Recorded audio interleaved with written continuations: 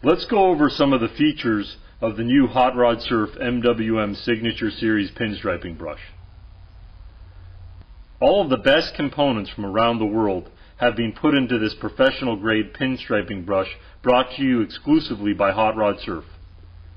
Starting with the handcrafted German style wood dowel handle that has been specifically shaped for freehand pinstriping design.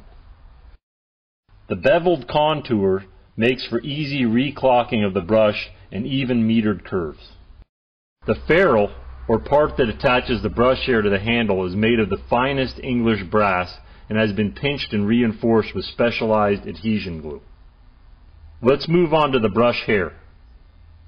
The brush hairs of the MWM series brush are specifically selected long Russian squirrel hair from the Kazan region. The hairs have been cut in a long sword shape for optimum versatility. Now you too can enjoy the new gold standard of freehand pinstriping brushes.